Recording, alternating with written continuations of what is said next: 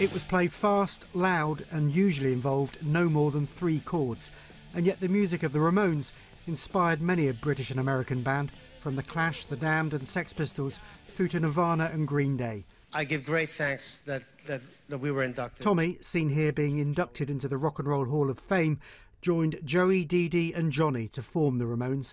A reaction, they said, to the self indulgent, overblown, and pretentious groups of the 1970s.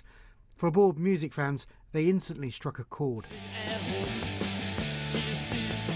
He gave up performing to produce the band, but it was his drumming and the band's deliberately dumbed down approach that helped seal their place as just about the fastest and most